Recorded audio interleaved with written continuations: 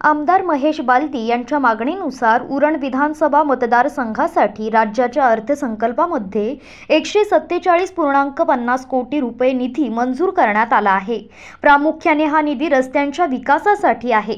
यामध्ये ग्रामीण मार्गाकरिता सत्तेचाळीस पूर्णांक पन्नास कोटी प्रमुख जिल्हा मार्गासाठी अठ्ठावन्न कोटी कोण सावळे रस्त्याच्या उर्वरित कामासाठी वीस कोटी रुपये दाण तुराडे रस्त्यासाठी एकोणीस कोटी रुपये आणि गुळसुंदे जांभिवली कराडे या रस्त्यासाठी तीन कोटी रुपये निधी मंजूर झाला आहे.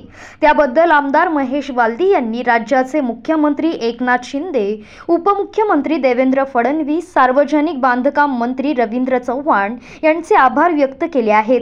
महेश बालदी उरण विधानसभा मतदारसंघाचे आमदार झाल्यानंतर या मतदारसंघाचा झपाट्याने विकास झाला. मागील दोन टर्मच्या तत्कालीन आमदारांकडून कोन सावळे रस्ता खड्ड्यात गेला होता. कार्यतत्पर आमदार महेश बालदी यांनी तत्काळ या विषयात लक्ष देऊन प्रश्न मार्गी लावला. आता दाण तुराडे रस्त्याचाही विकास होणार आहे. त्यामुळे प्रवासी वाहन चालकांना मोठा दिलासा मिळवून इंधनाचीही बचत होणार आहे.